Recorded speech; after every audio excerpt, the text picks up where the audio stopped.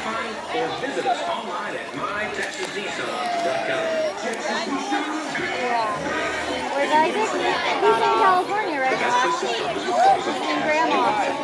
I went.